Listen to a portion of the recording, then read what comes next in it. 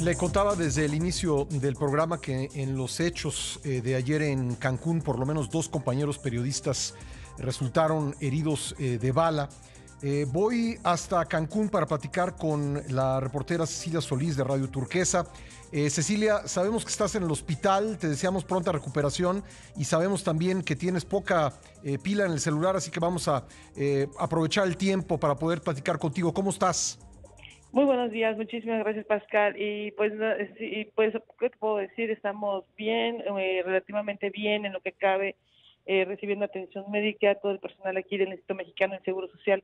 Nos ahora sí que nos ha atendido muy bien a, las personas, bueno, en mi caso, mi otro compañero que también ingresó junto conmigo por lesiones de arma de fuego durante esta manifestación de feministas que se realizaba el, día de ayer aquí en Cancún. ¿Tú, tienes un, balazo en el pie, tengo entendido?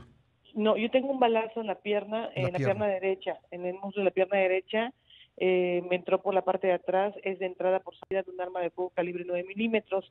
Eh, es donde yo tengo el, balazo, de hecho estoy bajo observación médica todavía y eh, están todavía a la espera de hacer unos estudios más para ver si es necesario irme a cirugía o ya de plano eh, es otro tipo de curación. Oye, pues eh, te deseamos recuperación eh, pronta y, cuéntanos, por favor, cómo viviste estos hechos, Cecilia.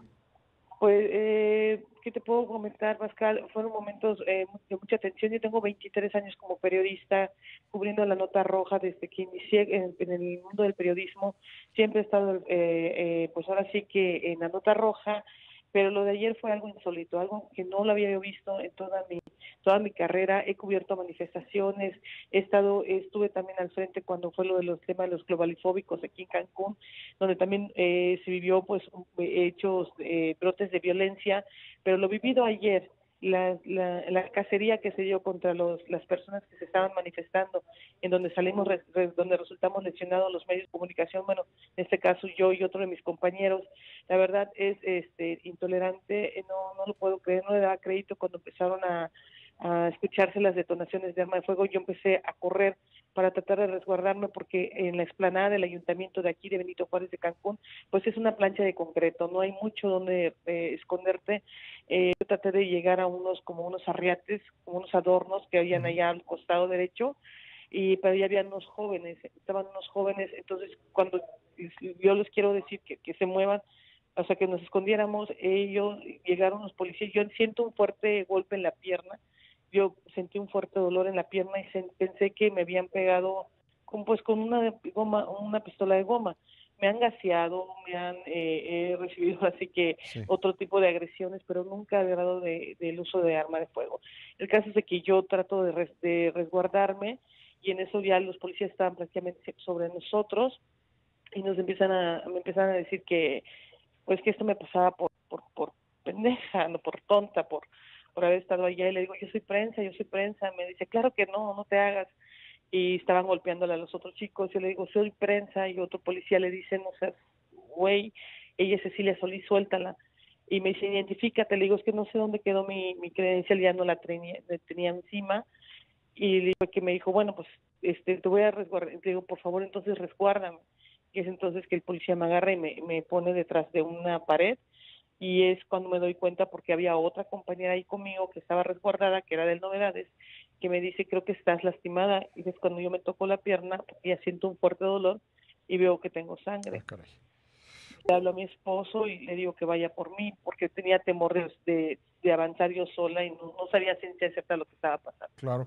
Eh, Cecilia, eh, dice la alcaldesa eh, Mara Lezama que Cancún no tiene policías municipales, que es mando único, que pues esto fueron policías estatales, el gobernador ha condenado los hechos, lo mismo el secretario de Seguridad Pública del Estado.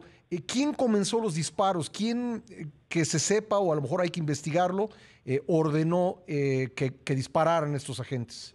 Mira, yo no te puedo decir quién ordenó, quién que quién diera la orden que disparara. Lo que sí te puedo decir es que durante desde que llegamos a la manifestación, de hecho en las transmisiones que yo dice eh, yo hice a través de la página de Facebook de News Today, News Today QR, yo estaba comentando que era muy extraño que estaba eh, desde que estábamos en las instalaciones de la Fiscalía General del Estado, eh, ya se había registrado brotes vandálicos eh, cuando eh, desde ahí comenzamos nosotros a informar y a informar de que el contingente se estaba dirigiendo al ayuntamiento. Cuando nosotros llegamos ahí, a mí se me hace, por mi experiencia, por mi labor, se me hizo muy extraño no ver antimotines, no ver resguardo hacia las instalaciones del ayuntamiento. La gente ya iba enardecida, iba muy molesta, porque nadie les daba la cara, porque nadie hablaba con ellos, porque según eh, solamente eran puras mentiras y los homicidios continúan. Entonces comienzan a, a piedras, a romper ventanas, a agarrar toda clase de objeto para romper ventanas eh, y tirar unas tablas con las que habían tapiado la puerta principal del ayuntamiento. En ese momento eh, yo me doy cuenta que a los costados, de hecho en la transmisión que hicimos, que fue casi 30 minutos, en los costados yo veo a los policías y narro que extrañamente los policías estaban a los costados del ayuntamiento y pues eran policías estatales, eran policías municipales. Aquí en Benito Juárez nos rige el mando único. Eh, de hace dos años el mando eh, la presidenta municipal entregó la policía eh, la policía municipal, valga la redundancia, al, al, al, gobierno del estado. De los 11 municipios, 10 está bajo el esquema del mando único y Benito Juárez no la excepción. Había policías municipales y había policías estatales. Entonces, desde adentro nosotros empezamos a ver que habían luz, eh, estas luces de láser, las luces verdes de láser que usan los policías. Y de hecho, yo en mi narración, un muchacho me dice, ¿y ahora qué hacemos? Le dije, yo no sé, tú, yo voy a correr. Le dije, yo ya voy. Entonces, cuando yo me empiezo a, caminar hacia atrás, pero fue cuestión de segundos cuando empezamos a escuchar las ráfagas y los disparos.